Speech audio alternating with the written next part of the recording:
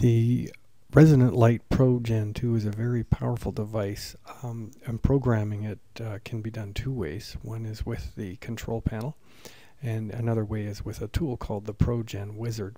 It's not the easiest tool in the world to use, and that's why this video exists. Um, normally, in the past, we would have used the consolidated annotated frequency list as a source for frequencies. Um, but today we have an option here to use the Spooky 2 software, which includes not only the CAFL, but a whole bunch of other more modern databases, all packed into one excellent application. So this uh, video is to discuss how to connect up the ProGen 2 to a computer, including how to program it from frequency sets that come out of the Spooky 2 software. It's a little more powerful and a little more user friendly than building them from scratch from the CAFL. I hope it helps.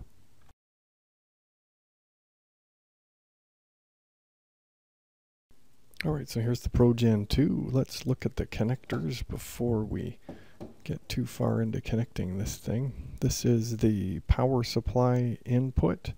Um, this is the connector for the Pearl.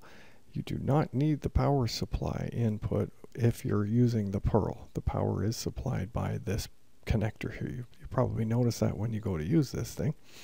We're only going to need the power supply connector for programming this thing.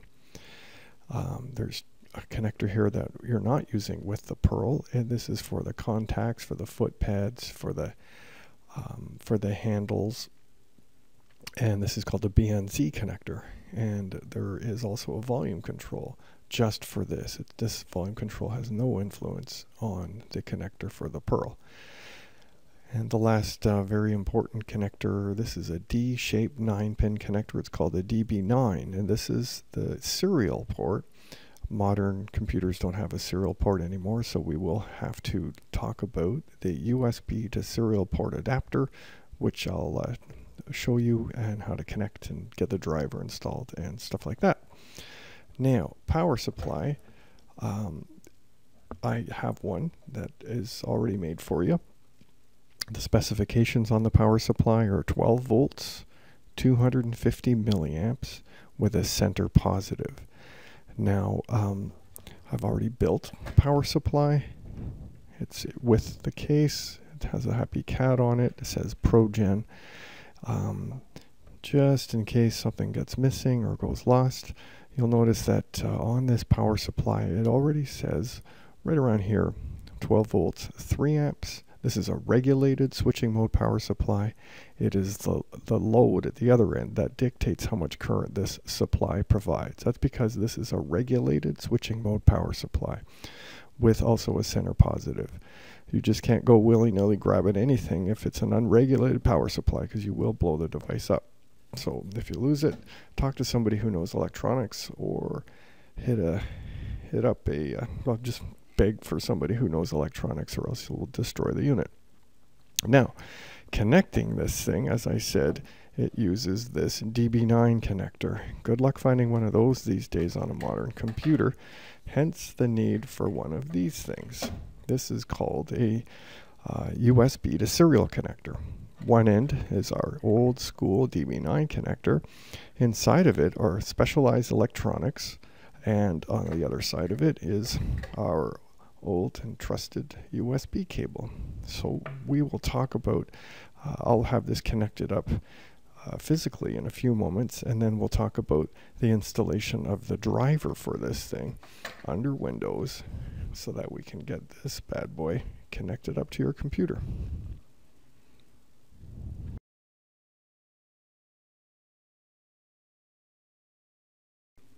Okay, so we've connected up the ProGen 2 to the um, the USB interface cable. The USB interface cable is not yet connected to the computer. It sometimes is a good idea to install the drivers before connecting these USB style devices. Even printers are like this too. So I haven't connected the other end yet. We'll do the drivers in a sec um, it's powered on obviously and this is it sitting around waiting for it to do something so next let's hop over to the computer and do the drivers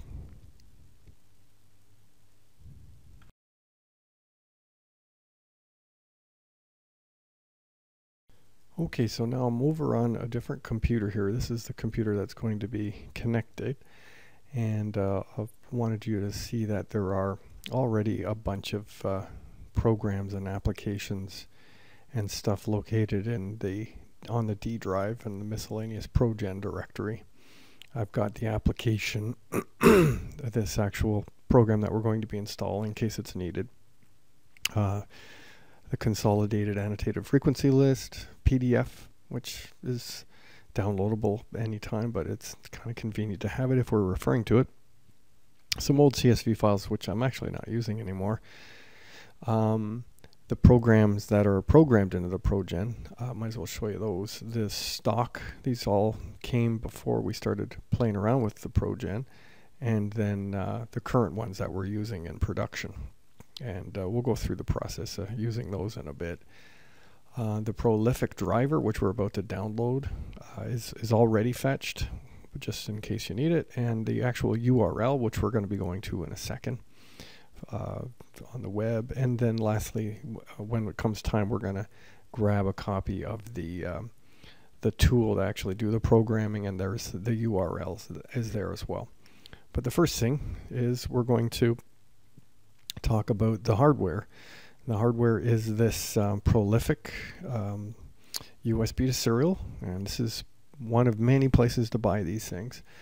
Um, the Prolific is the name of the company that makes the chip inside of it, and we will need a driver for that. And the one that I'm currently using seems to be very popular is the PL2303. If you ever lose it, you're going to need to purchase one. They're not that expensive if you know where to look. They're very expensive if you don't know where to look. So just be cautious of the price. So yeah, um, the Prolific website is where uh, you would search for and find the driver for this thing. Let's let's download it. I'm going to click that button and uh, just for the fun of it I have already created some directories here on the desktop prolific driver and we're going to download that driver I've already downloaded it once here from an earlier video attempt and once that driver is finished I'm going to go to that directory and then right click on it and choose 7-zip and extract it to that location.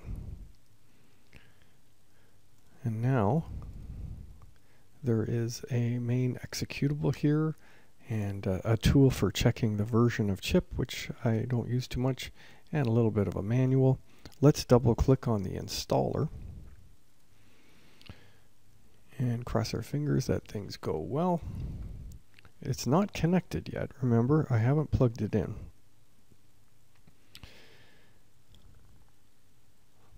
So the computer, I can hear the computer speeding up a little bit. It's doing some work. And no mention of it being done. Here we go. It's finished. So I'm going to click that button and you will see the prolific driver um, in the add remove programs area. Which one? This one here. The PL2303 USB to serial. Just installed right now. If ever you need to uninstall it, you can go there. And I'm just going to plug the USB cable in. And let's keep an eye over here for any kind of uh, activity and automatic driver installation. Just a sec.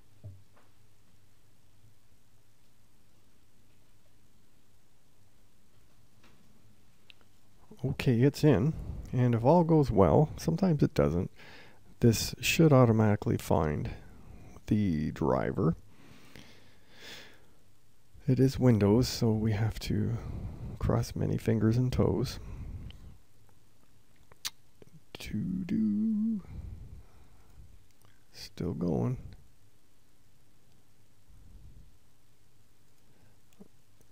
Always during demos. There. Great. First time. And um, you'll see that it's using COM5. That's going to come, uh, that COM number, communication port number 5. That, for us, that's going to be very important. Um, I'll show you why. Another place to go, if you notice I right-clicked on my My Computer icon and went to Manage. there's a place called the Device Manager, which is sometimes necessary to become familiar with. Boy, it sure is slow. Okay, uh, Device Manager. And then down here under uh, ports, COM, and LPT, we'll see the prolific USB, again attached to COM 5. You'll probably notice that if you disconnect and reconnect this device, reboot the computer, sometimes this COM port moves around, and unfortunately that's that's just the way it is with with these sort of devices. But let's just finish up with this chapter. We've actually installed the driver. The dri driver's communicating. Uh, we are attached to a particular COM port. Now we're going to move on to the ProGen wizard.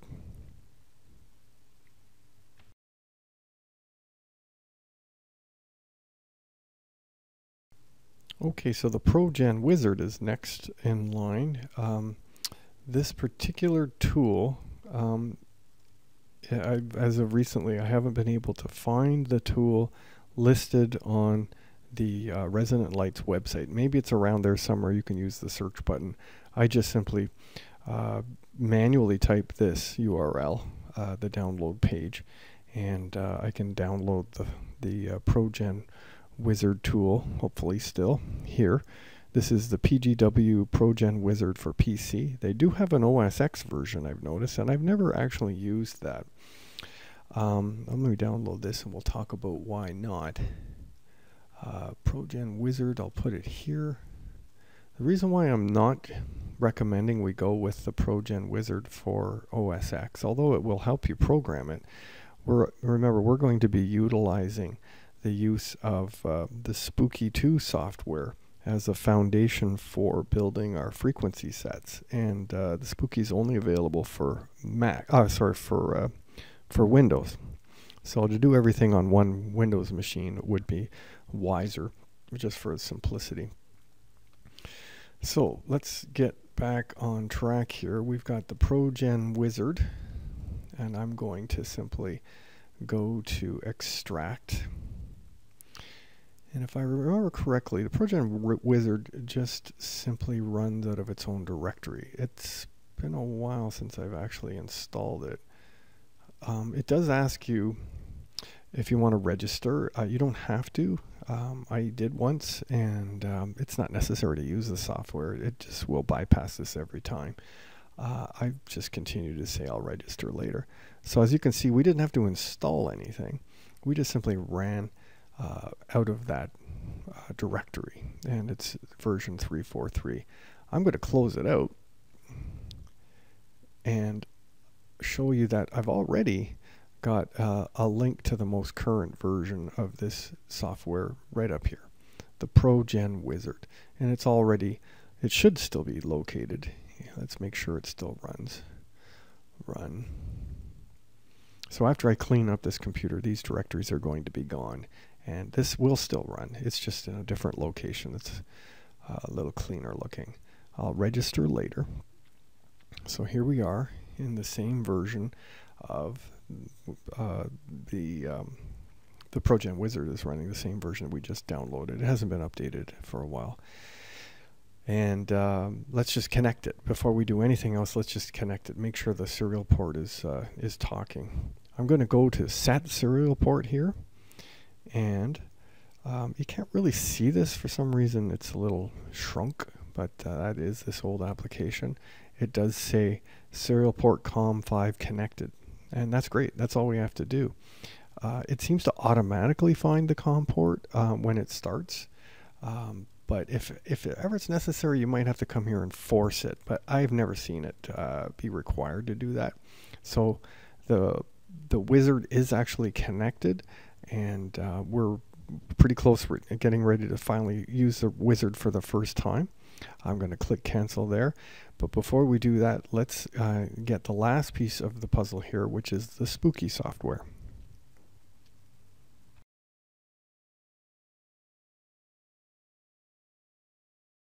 Alright, the last piece of the puzzle is the spooky software.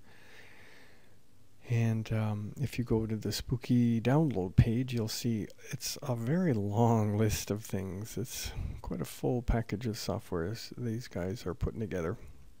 If you carefully go down to full package software April 1st, look around for something. This is obviously going to be outdated if ever you see this. Um, but I'm going for the full installer. So it uh, contains the full database, drivers, and everything else you'll need. So I'm going to click full installer and just for cleanliness for now, I'll put it in the Spooky 2 directory. It's a fairly big file, but I'm getting good bandwidth. Um, you do not need, again, you do not need the spooky hardware to use the software. And that's great because this software is an excellent repository uh, source for the um, the frequency sets that we're going to be building and ultimately putting onto the bro uh, the ProGen. Now, still waiting for this download to complete. Definitely slow download today. I'll come back to this when it's ready to install. Okay, so the software is now downloaded. I'm going to decompress it. I know it looks a little confusing. This does have a exe.zip extension, which is very confusing for people who don't uh, see the last three letters. That's Microsoft's uh, fun. Oh, by the way, I noticed OSX. Don't get confused by the visibility of this OSX file here. I'll explain that in a sec. Let me just start this installer.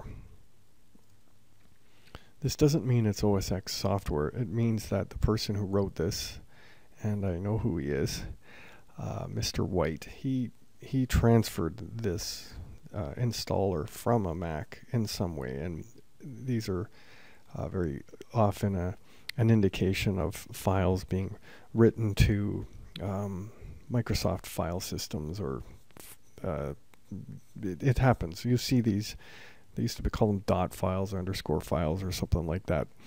Uh, it, it's just like breadcrumbs left behind using a Macintosh. But don't get confused by this. It, this is definitely not Macintosh software. It was just sort of built on or used by or transferred around using a Mac.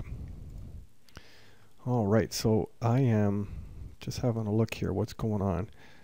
Because I was blabbing away, I didn't pay attention to uh, the installation. Uh, it's very tiny looking.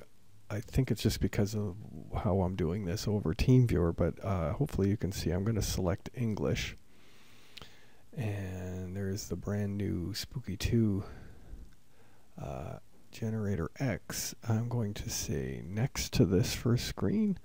And I read that. And then it's going to land in the Spooky 2 directory. And we'll wait for this install. No point hanging around. I will uh, come back when this is done.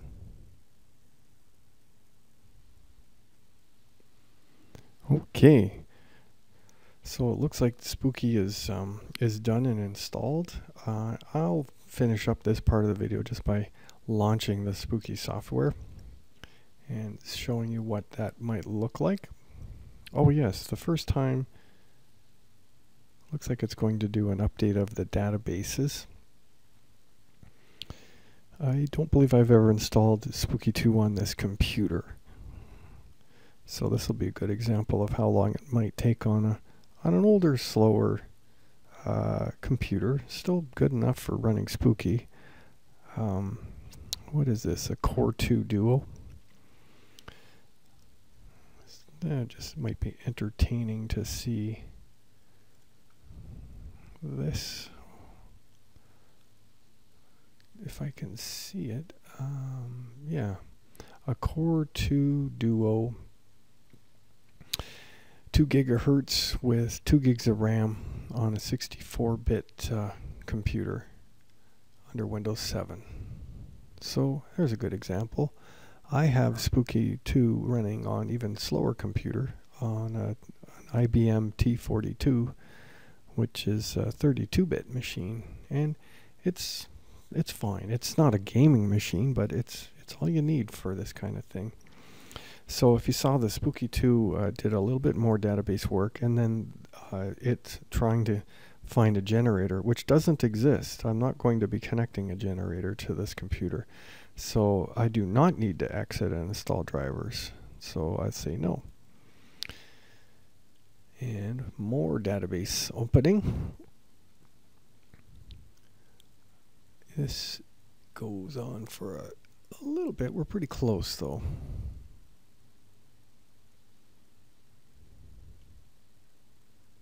It won't be this long to open every time.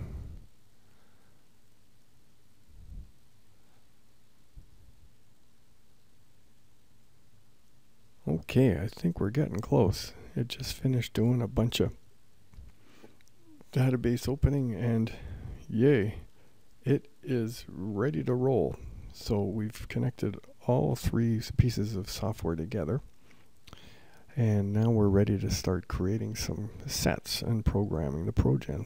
That'll be in the next chapter.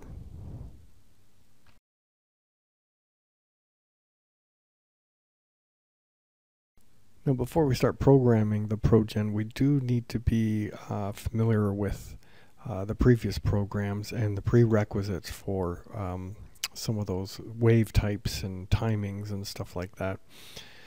So I have been uh, over time saving the programs that have been uh, that came with the machine as well as have been uh, programmed onto the machine.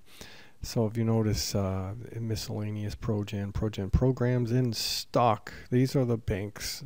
These are programs that came with the, the device originally. Uh, uh, there's probably, I don't know why there's only 40 here, or 25 here, but uh, maybe some of them were blank when I first got the device.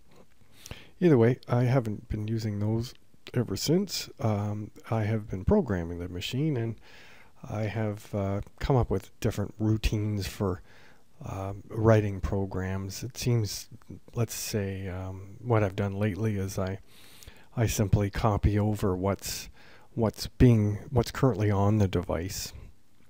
I have, uh, I should say, what I, have made. I made all these programs and um, based originally on trying to replicate the BioRay device um, and using the criteria from the BioRay. And we've had some excellent results.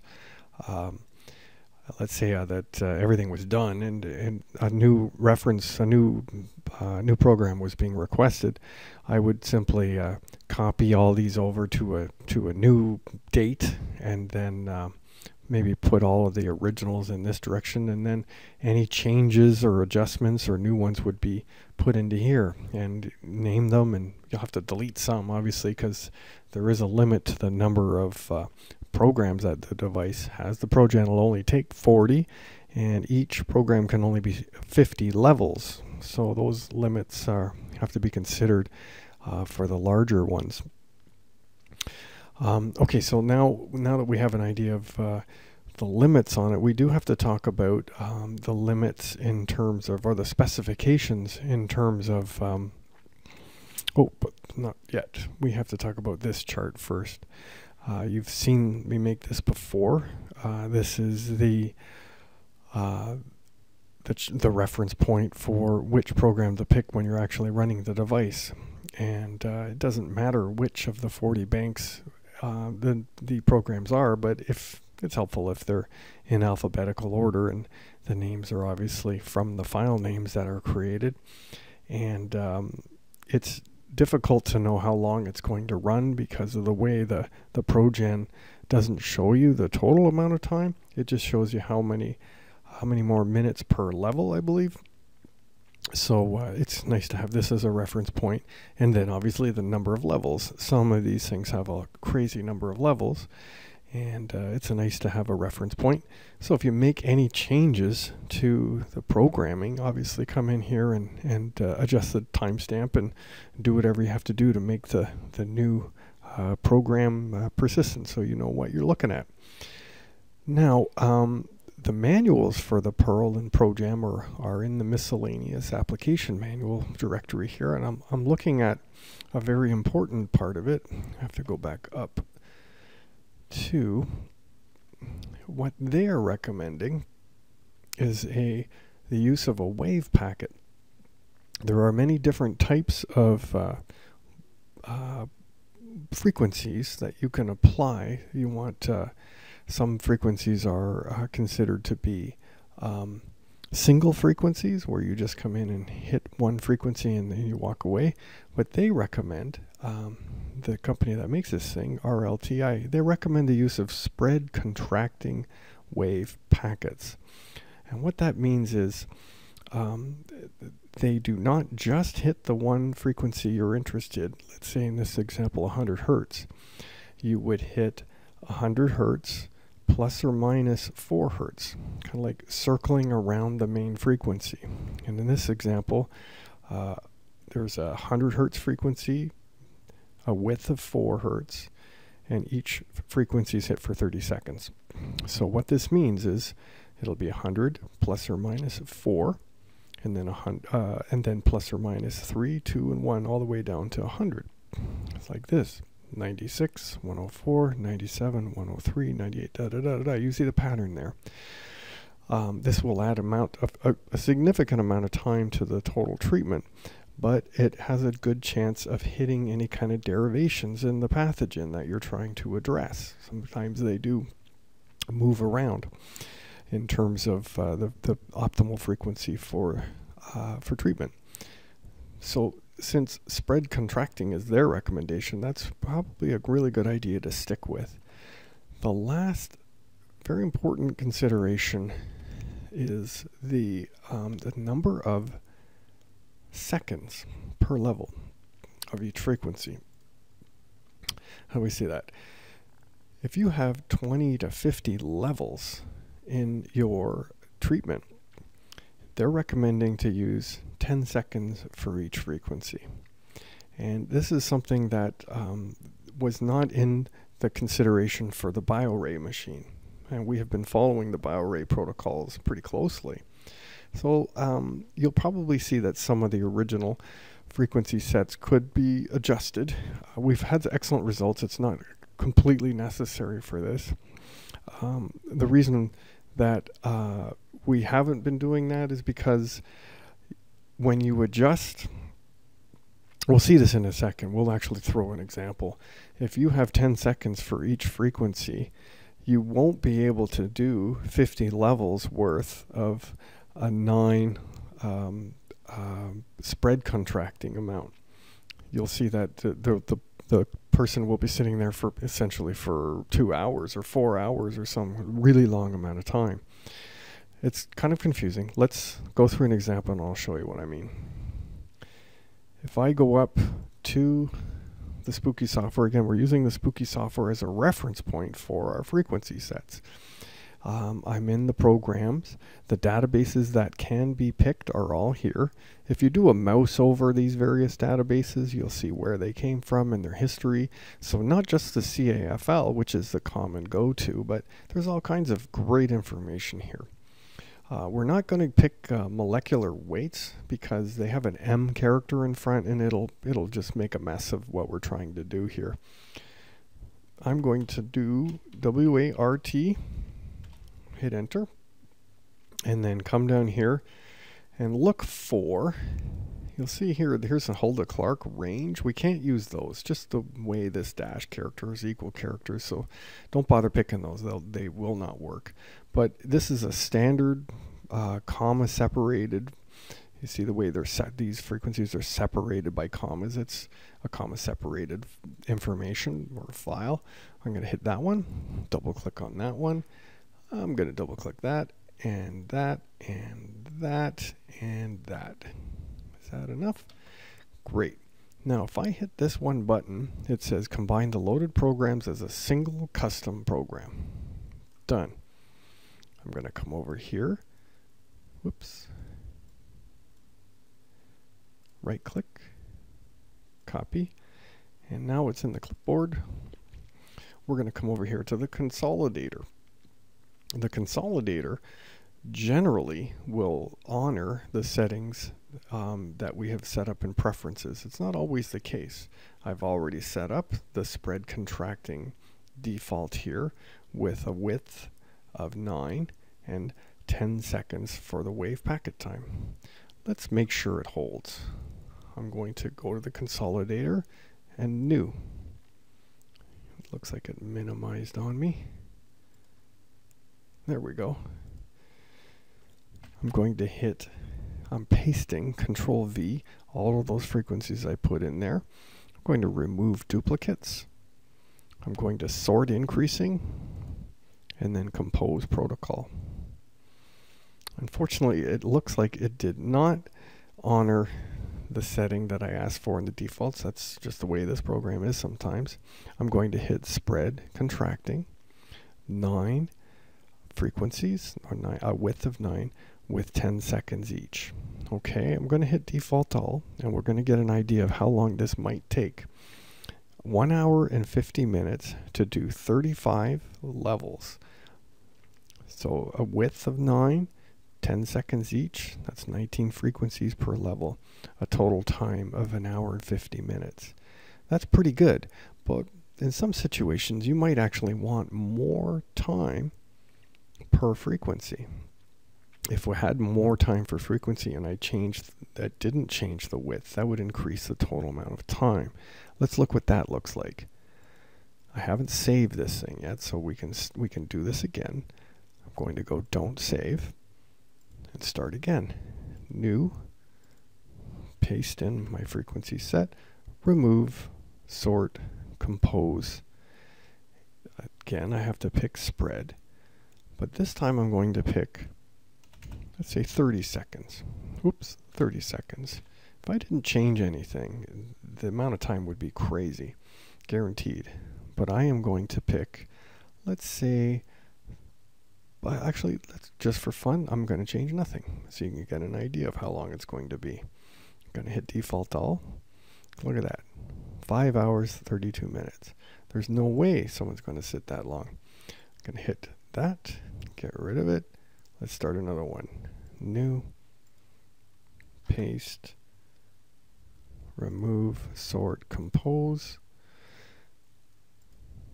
single, let's say 30 seconds again, but not so many, no, not so much of a width.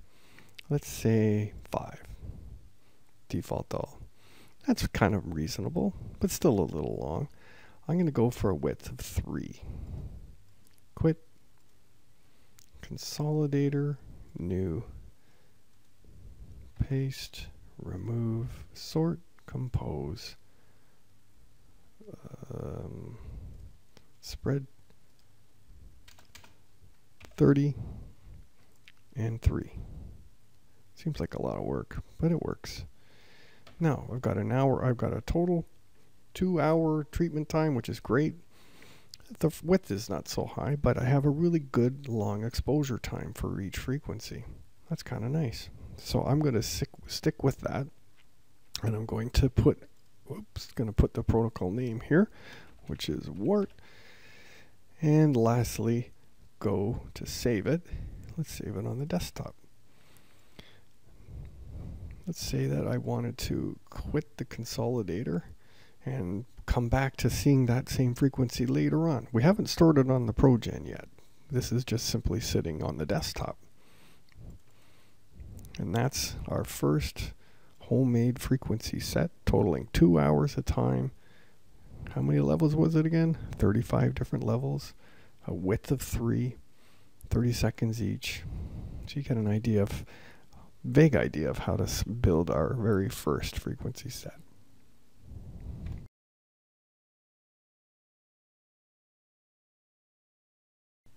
Okay, now let's let's get serious here. Let's do another one. Uh, let's take this for example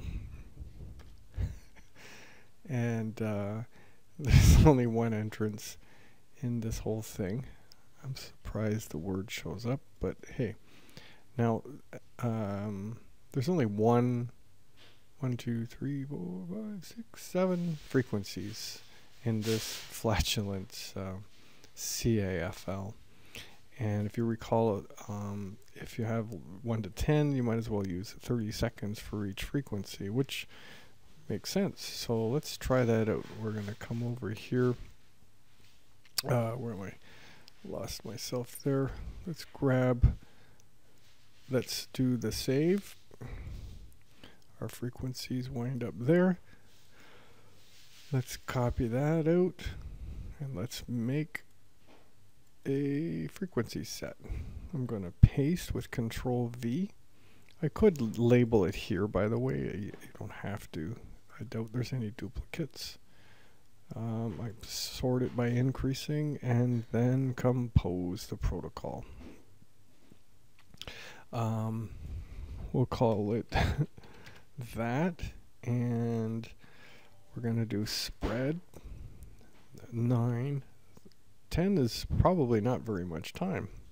Uh, the recommendation was was it 30 seconds?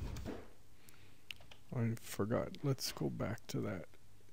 It's yeah 30 seconds for each frequency so I'm gonna hit default all. And look an hour. That's that's pretty good. Um, as you can see if if it would be excuse me a little bit less time a lot less time if we were to use uh, 10 seconds per frequency so as you can see the you got different situations for uh, the use of uh, the how wide the frequency set is and the the length of time and and its impact on the total amount of time let's save that preset and quit the consolidator. And then let's uh, do a an actual read of the data from the ProGen and um, do a write to the ProGen next.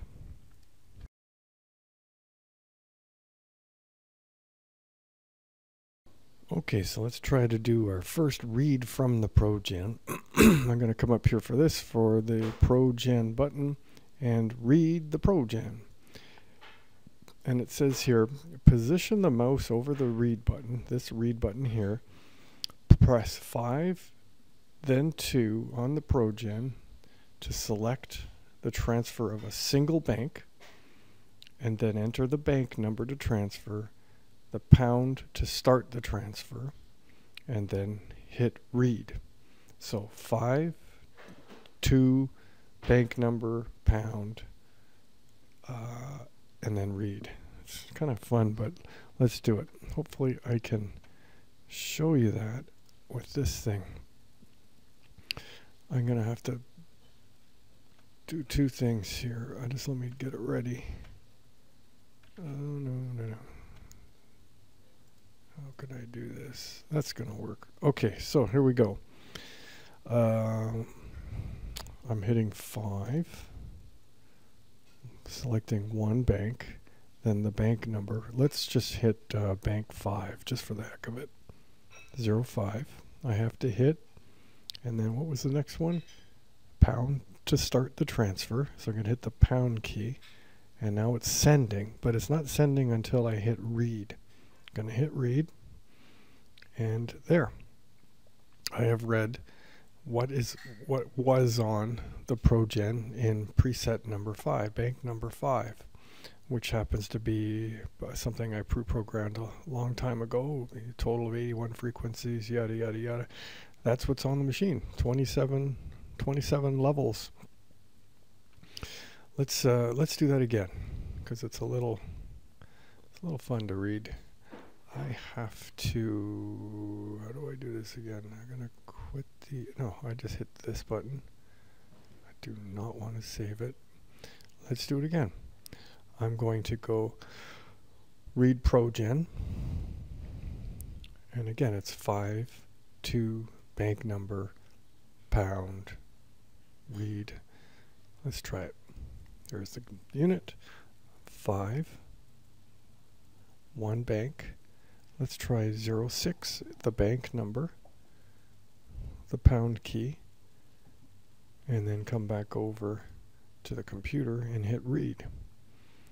And we've just read bank 6, that, that which just happens to be two hours long. Okay, so that's how we read anything from the ProGen. Um, in some situations, you might want to do this because you just need to know the total number of amount of time. They might not have made notes of that, or um, uh, the total number of levels, which is right here, 46 levels long. So that's pretty cool. Now let's actually take one of our programs and then write it out to the ProGen. We'll do that in the next chapter.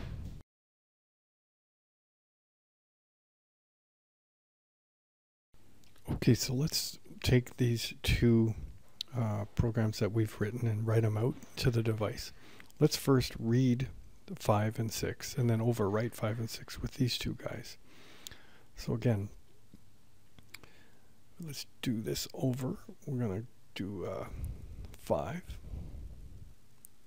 2, bank number 05, pound, and read. And then we save this. I'm going to call it, we can just leave it like that without touching it, bank 5. Sweet. Let's do the same thing with bank 6. Read ProGen. Come back over to here. 5, 2, 0, six pound do do do read file we're saving this bank 6 and it's done. So now now that we've saved them basically we're going to write these the wart and this other one to the device. So we're doing the opposite. We're now going to push a file to the device. So we go ProGen load from file. So first we have to pick the file. It's on the desktop 05 and the bank to put it in. We are putting it in 0, 05. Click here to commence loading. And it says it's ready to load. Immediately after clicking OK, press 5 and 3 on the ProGen.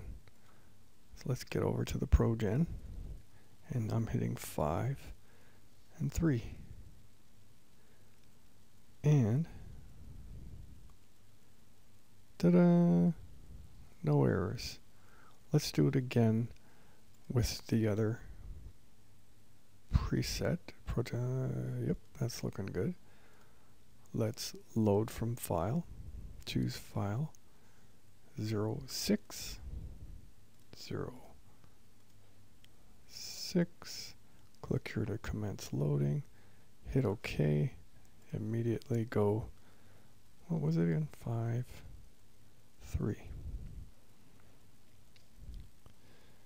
Sometimes this bombs out with an error. This one worked. Sometimes the application bombs out with some kind of a can't do it kind of an error, but it immediately works upon second use of that device. I've seen that a couple of times. Maybe maybe 10% of the time it stops working because there's a lot going on with this USB driver and funny cable and stuff. So how do you know if it worked? You don't really know until you try to read it.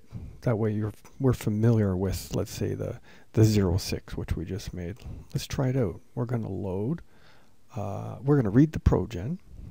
We're going to do a, a 06 read. So uh, it's 5206 pound. Come back over to the computer and hit read. And yeah, that's one we just made a little while ago, the flatulence protocol. So that's how you read and write to the ProGen. Kind of simple. You just have to now spend some time paying attention to and keeping track of all of the different uh, of the 40 presets in there and be logical about your flow. If you're going to add one, something's going to have to be taken away because it is saturated right now. And just make sure you're st sticking with your documentation and being clear which presets are in the device And with good and accurate notes, uh, you won't be making any mistakes.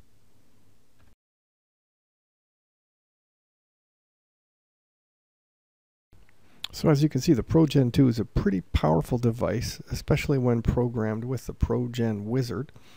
Um, and using Spooky 2, you can not only include the consolidated, consolidated annotated frequencies, but other frequencies that are uh, modern and are always being updated. By the way, the Spooky software is seems to be updated at least once a month or every couple of months. Um, and it wouldn't be a bad idea to update it uh, if necessary for for uh, more modern inclusions of uh, frequencies that might be discovered over time and use those frequency sets to build stuff for the ProGen. If there are any questions that weren't answered in this video, this um, manual is available in this path on the computer or downloadable in both uh, HTML and uh, PDF formats. I've really covered everything that I've needed so far for the use of this particular device. But uh, if, if there are any other further questions, they will hopefully be included in this manual. I hope this helps.